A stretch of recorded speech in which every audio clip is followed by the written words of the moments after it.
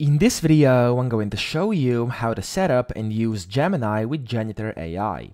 Now, the first thing you want to do, you want to go to janitorai.com and of course you want to sign into your account. And then after this, you want to find one of your chats over here. So it can be a new one or one of the ones you've already been talking with. And then you can press on continue to get into the chat. Now, mind you, this is not going to be possible with all the chats. However, most of the chats will allow you to use proxies. Now, as you can see, this one says using proxy because I've set this up already. I'm going to show you how to in a second. However, if I go to this one, for example, over here, it says that no proxy and then something. This usually means you can't really use proxies in here. I've tried it, it doesn't work. And as you can see, if I just type something in, it's going to basically say proxies are forbidden for this character.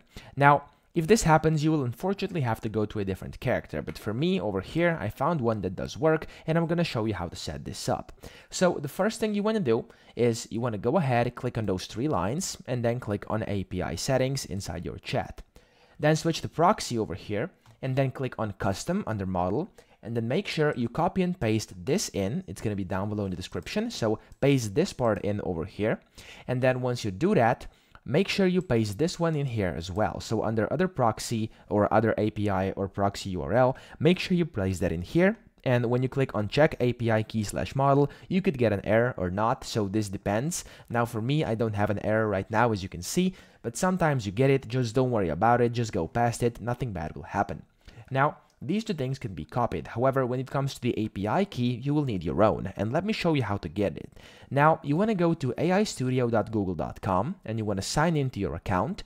And then after you've signed into your account, click on Get API Key up top and then Create API Key.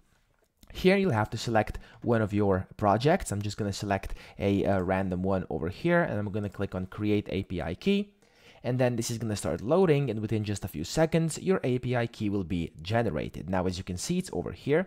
Make sure you copy this and you will only be able to see this once so make sure you copy it and place it somewhere safe. And then after you do it, go in here, place it inside the API key box where it says API key, and make sure, double check that it's the correct one. And after you do it, you can try click and check API. If it gives an error, don't worry. If it doesn't, that much better. Now here, you can then also add in a custom prompt. And of course, you can add it if you want to set the behavior of the bot. I'm just going to skip this step right now, but you are free to do that in case you want something like that. Now, here, in case you've forgotten your API key or forgot to copy it, don't worry about it, just create a new one and then paste that one in, it's gonna work just as well. Now, after all of this has been done, double check that everything is correct over here and then click on Save Settings.